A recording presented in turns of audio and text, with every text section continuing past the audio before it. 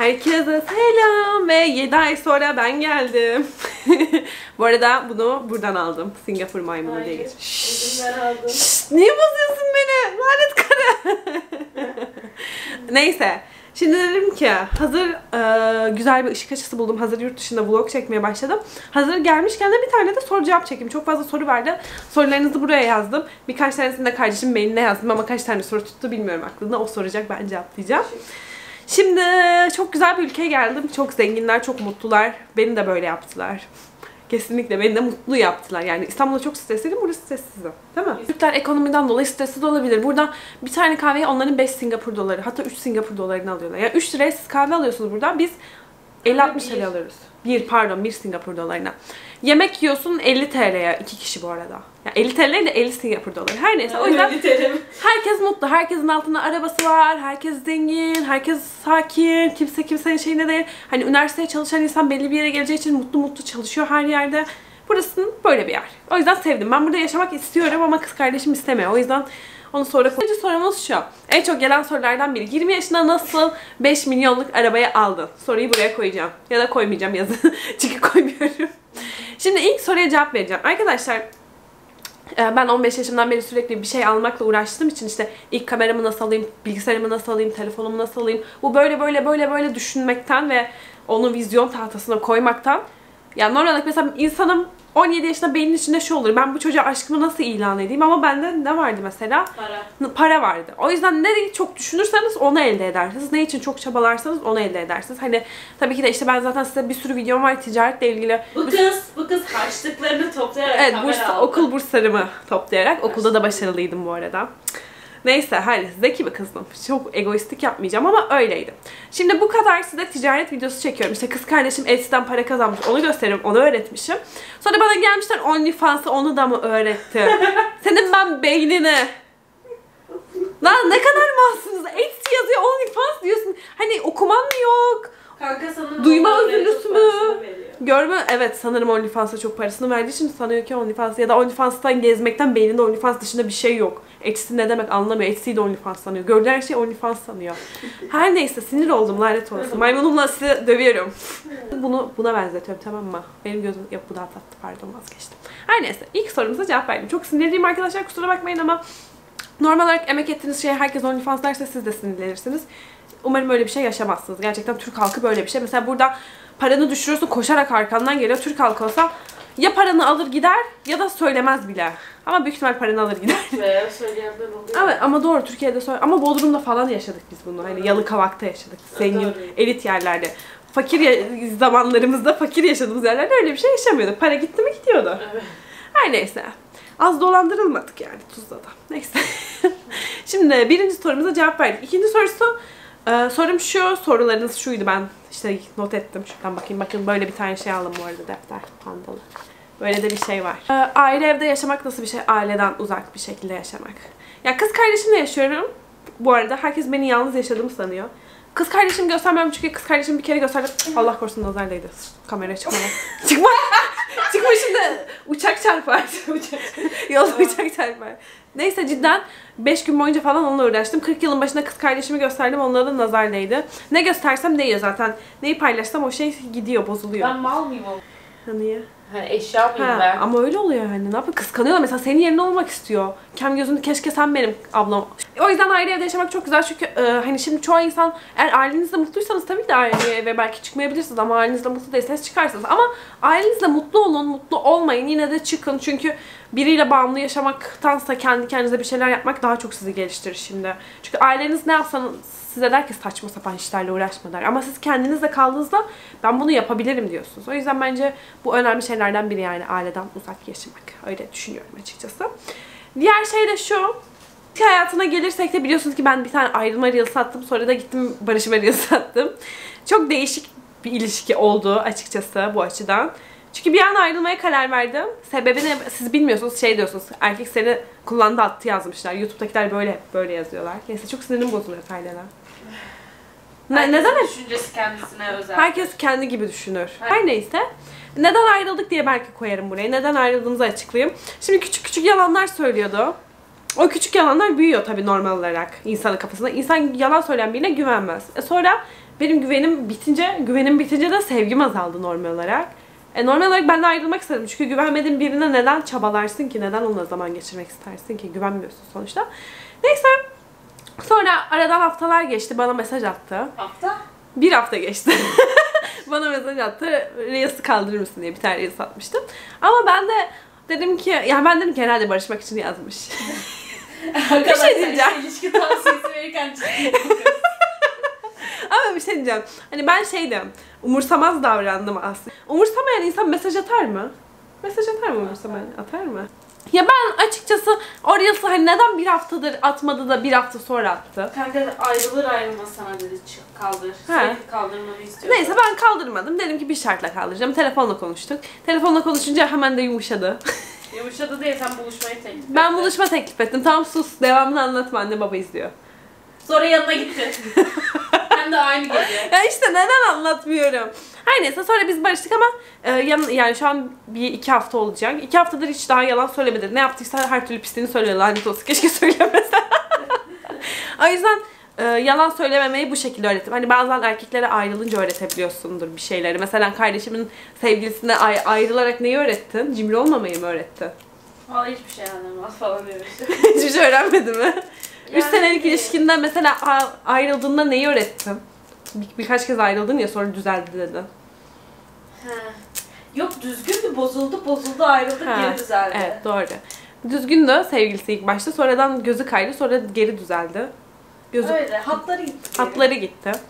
İnsanların hatları gidebilir. Senin de hattın belki bir gün gider. Belki senin 5 sene sonra hattın gider. Yiğit hattını bozar. Her neyse. Öyleydi işte. Böyle barışık. Şu an bir, bir sıkıntı yok. Hiçbir şeyde. Şimdilik yok. Neyse tabii o şeyi anlatmayacağım flörtün delilini bilmem neyle. O kadar anlatmak istemiyorum. Çok çok şey var çünkü amına koyayım. Videoyu bir saat mi olsun? Anlatayım mı yoksa? Hayır. Gerek yok. Şimdi diğer konumuz şu. Şimdi maddeden konuştuk, ilişkiden konuştuk. Şimdi genel anlamda birazcık psikolojiden konuşalım. İlk ne zaman psikolojim bozuldu? İlk ne zaman psikolojim bozuldu? Çok seviyorum mu oynuyor değil mi YouTube'da? hı. Herkes oynamıyor mu? Hani mesela estetik ameliyatı yapıyor atıyorum ki X kişisi burun estetiği yapıyor. Hatta beğenmiyor tekrar yapıyor. Hı hı. X kişisi de diyor ki ben kendimi seviyorum. Ben kendimi çok seviyorum siz de kendinizi sevin. Şimdi sence böyle birinden normal bir şey algılar mısın? Hayır. Şimdi ben burun estetiği yaptım. Demek ki kendimi seviyor muymuşum? Burnunu sevmiyorum. Burnumu sevmiyormuşum evet Burnunu orası öyle. kime sev- Ama şimdi ben geçen Charlie Puth'un konserine gittim. Adam burnun böyle olmasına rağmen gayet kendini severek mutlu mutlu davranıyor. Evet, Kend- kendimi seveceksen insanları sev. Tabii ama ben şu an kendimi seviyorum ki. Ama mesela bakın ama şu an seviyorum. 2 10 kilo alsam mesela tak diye böyle bir şey olsam sevmeyeceğim. İşte bu sıkıntı. Sıkıntı burada başlıyor. Güzelliğe göre kendimizi sevip sevemek sıkıntı. Şimdi e, estetik yaptırdı mesela ünlüler. Diyorlar ki "Hı, ben çok güzel. Mesela öyle bu kendini sevme konusunda ben kendimi sevmek için uğraşıyorum şu sıralar. Eskiye göre daha çok tabii ki de 3 sene önce hiç sevmiyordum mesela. Cidden. Hiçbir şeyime tahammülüm yoktu. Değil. Zamanla düzeliyor bu. İlk ne zaman? İlk ne zaman öpüştüm. İlk ne zaman öpüştüm? İlk 18 yaşımda öpüştüm bu arada. Çok önemli bir şey değil. Eşit olur olmaz. Yani ben bu arada reşitli bekledim ama kız kardeşim beklemedi. Namussuz annemle babam izlesin diye bunu koyuyorum. Yok. Yani öpüşmekte de beklemedim. İlk her şeyimi aslında 18'imde yaptım. En güzel yaşım 20. Çünkü 20'de e, en büyük hayalim olan Mercedes aldığım için en güzel yaşım 20. Bu arada 19. 20'de aldım gerizekalı. Bu kızı bilmiyor. ki. İlk arabamı alabilir ama ilk Mercedes'imi 20'de aldım. İşte Mercedes'imi aldım bir de hayalimde böyle full deniz manzaralı bir rezidans vardı. Ben bir tane Kuşadası'na bir otele gittim. Full deniz manzaralıydı. full deniz manzaralıydı. Ona sahip olunca ayrı bir mutlu oldu. Bir de köpeklerimi çok seviyorum Charlie ile Lucky'yi. Onlarla mutluyum açıkçası. Onları da kalp yolluyorum. Tamam. Onlara buradan hav hav yolluyorum aynen. Size bakın size bunları aldım. Neyse. O yüzden benim en güzel yaşım 20. Hani 19'da ben açıkçası birazcık şey uğraştığım için uğraşmalı senelerdi. Stresli seneler. Yani uğraştığınız seneler streslidir. Meyve yediğiniz zamanlar güzel senelerdir. işte eğlendiğiniz zamanlar. Hem ilişki kötüydü hem. Aynen ilişkide berbat ya. İlişkide aldatıp aldatıp. Bir kere, bir, bir kere bu arada bir ikisi de al- aldatılmayı kayma anlatmıştım ya. Bir de ben onu sonradan bir kere daha iki kere aldatmış meğerse. Sonradan bir tane daha gördüm. Ay anasını yani. İki kere aldatılmışım ve ben Ve üstüne onun yanına gittim. ya o. Neyse. İlayda'nın yanına gitme fetişi var. Ben sevgilimi seviyorum. Her şey iyi gidiyor. Onunla kafa dengesi en azından. En azından e, düşünceli hareketler yapıyor. Eski sevgililerim öyle bir şey yapmıyordu. Amına koyayım eski sevgilim beni otogara bırakmıyordu. Otogara bıraksa derdi ki benzin paramı koy. Demezdi de ama bırakmamıştı. Ben taksiyle gitmiştim. bırakayım demedim sana. İlk zamanlar demişti o aldatılma sonrasında demedi. Aldatılma sonrasında tam bir hırsızlık yaptı. Bana hesap geçirdi hatırlamıyor musun? Hatırlamıyorum. Kalp kırıklığı insanı güçlendirir ben buna inanıyorum. Çünkü ben o gün bir sene önce işte iki kere aldatıldığımda cidden kalbim böyle pam pam oldu. Paramparça oldu. O yüzden de gittim dedim ki senin ben. Onun en büyük hayali araba almakta gitti benim hemen araba aldım. Aradan 3-4-5 ay sonra hemen araba aldım. Gittim sonra en büyük hayalim Mercedes olan Mercedes olduğu için gittim Mercedes aldım. O yüzden Burada demek istediğim şu. Kalp kırıklığı sizi güçlendirir. Ne kadar kalbiniz kırılırsa o kadar güçlü olursunuz. Mesela cidden e, kalbim o kadar kırılmasaydı, o kadar stres olmasaydım, o kadar ağlamasaydım kendimi bu kadar işe vurmazdım. Zaten çoğu şarkıcı konserlerinde bunu söylüyor. Kalp kırıklığı sayesinde bu şarkıyı yazdım falan filan. İnsanı güçlendiriyor cidden. O yüzden iyi ki kalbim kırılmış da iyi ki bu yerlere geldim. Belki de şu an Singapur'da olmazdım o kadar sinirli bir olmasaydım o kadar para kazanmazdım. Neyse. Benim Her- kalbim kırıldığında ben ne yapacağım? Senin kalbin e, üzüntüye veriyorsun kendini direkt. Bak, Biraya veriyorsun. Tabii herkes öyle değil ama şimdi biraya verdiğim ederim her gün bira bira işte. Yiğit bira, yiğit bira. Tam her gün her gün kardeşim bira ve kalp kırıklığı bu şekilde atlattı. Neyse sonra çözümü barışarak bulduk. Düşünsenize 100 kere sevgili, eski sevgilini dinliyorsun sonra barışıyor. Aa ben, aa sen. Evet, en yakın arkadaşlar çok zor şeyler çekiyor her neyse. Şimdi konumuz buydu. O yüzden e, iyi bir şey. Sadece kalp kırıklığı değil aslında kötü hale de iyi bir şey. Ya kötü bir şey ama bir yandan da iyi bir şey. Yani Evet. kime herkese bağlı. Şimdi kötü halde psikolojin bozuldu deli de olabilirsin ya da onu da başarıya koyarsın. Mesela ailem kötüydü diye ben sürekli çalışmak istedim. O yüzden kazanmak istedim. Ailem iyi olsaydı yapmak istemezdim belki de bilmiyorum. Ya da benim şeyimde bu var, karakterimde bu vardır. İkisinden biridir. Bilmiyorum. O yüzden hayatınızdaki kötü şeyleri alın, alın, alın depolayın bunu. Deponuza koyun, güç olarak kullanın, basın. Sonuna kadar basın. Sonra siz böyle zirvede olduğunuzda o kötü insanlar size böyle hikayelerinize bakacak, sizi arayacak. Siz diyeceksin, "Tak, bay bay. Diyeceksiniz. Bu çok güzel bir his. Düşünsenize sevgiliniz sizi terk etti, aldattı, ağzınıza sıçtı. Sonra o zamanlar siz daha şeysiniz, normal bir insansınız. Sonra siz araba aldınız, ev aldınız, ünlü oldunuz. Sonra sizi arıyor. Siz diyecek sen kimsin? ha?" Bence bu çok güzel bir his. Bilmiyorum Kayna sen öyle bir his yaşadın mı bilmiyorum. Ne? Böyle bir his yaşadın mı? Dinlemedim. Sen dedin konuşma. Konuşmamak için dinlememeye mi karar verdin? Evet yoksa konuşuyorum. Neyse tamam iyi o zaman. Öyle işte. Başka soru var mı Kayran? Baksana Instagram'dan. İşte nasıl zengin olmamla ilgili sorular var. Ha, zengin olmakla ilgili. Yani zengin olma konusunda şu şekilde söyleyeceğim. Ee, ticarette bir sürü şey var. Amazon var, Shopify var, Etsy var, Trendyol var. 500 tane satış Ticaret platformu var. Sahibinden var? Letgo var. Ne? Ticaret dışında. Ticaret dışında ne önerim? Ticaret dışında böyle bir onlukta mesela standlık yapın küçük paralar kazanmak için. Hı anladım. hı. Ya da köpeklere bakın. Köpek bakıcı kardeşim ki zamanında köpek bakıcılığı yaptı yani. Oradan da kazandı. Onun sayesinde ev kirasını ödedik. Yani hiçbir işi küçümsemeyin. Her işi yapmanız lazım. Hani şimdi siz diyorsunuz ki ben zengin olmak istiyorum neden köpek bakıcılığı yapayım? Köpek bakıcılığı olup zengin mi olacağım? Abi köpek bakıcılığı yaparsın. Çok iyi para. İyi para kazanırsın. Sonra onu gidersin borsada yatırırsın bir şeylere hisselere. Bir sene sonunda bir baktın sen milyonersin. Yani küçük şeyleri küçümsersen ama sen yerinde sayarsın. O yüzden küçük paraları küçümsemeyeceksiniz. Her neyse şimdi bu konu hakkında da konuştum. Yeni saçımın hakkında da sizden yorumlar bekliyorum. Ben çok beğendim Bir de çünkü. fiziğini sormuş bazı kızlar. Ha fizik. Fizik konusunda Memen estetik mi? memem estetik değil arkadaşlar. Zaten memem estetik olsa daha farklı durur. Vallahi. Neyse aynen annemin geneti öyle. Annemin gerçek fotoğraflarına bakıyorum. Hep memesi böyle beli ince, poposu büyük. Yani bende de bu var. O yüzden bir tanesi yağ aldırma falan yazmış mesela.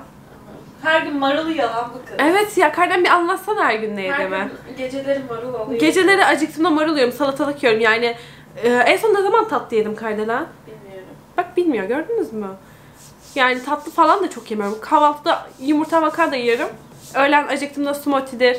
Bir şey yiyorum. Smoothie, yoğurt, granola yiyorum. Akşam da tavuk salata ya da et salata ya da balık salata yiyorum. Bitiyor gidiyor bu kadar. Üç öğün besleniyorum. Yani tutup da sürekli dondurma, cips, abur cubur yesem zaten fiziğim böyle olmaz. Böyle olur. Onu sen yiyorsun. O yüzden de o yüzden e, sürekli estetik yapmayın. Yani siz de az yiyin, siz de aç kalın, siz de sabah yürüyün. Aç kalmasın bence. Aç kalmayın canım.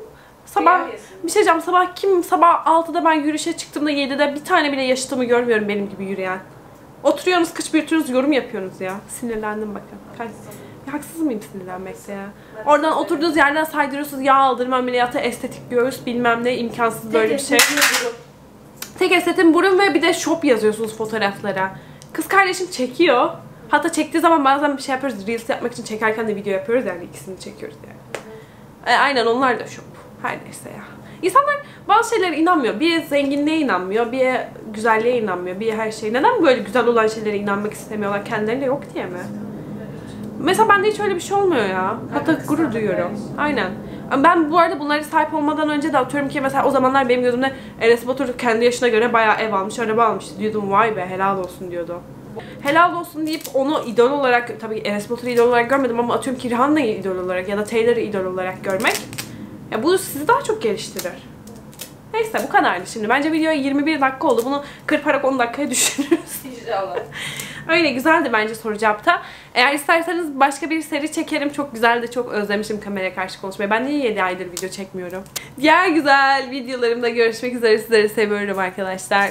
Dediklerime bakmayın. Haterlarıma birazcık sinirlenmiş olup yükselmiş olabilirim. Ama takipçilerime gerçekten beni sevip destekleyen takipçilerimi gerçekten çok seviyorum. İyi ki varsınız. Umarım siz de benim gibi güzel şeyler yaşarsınız, hayallerinizi yaşarsınız. Ve ben size inanıyorum. Ben yaptıysam siz de yaparsınız. Sizi seviyorum. Görüşmek üzere. Bay bay.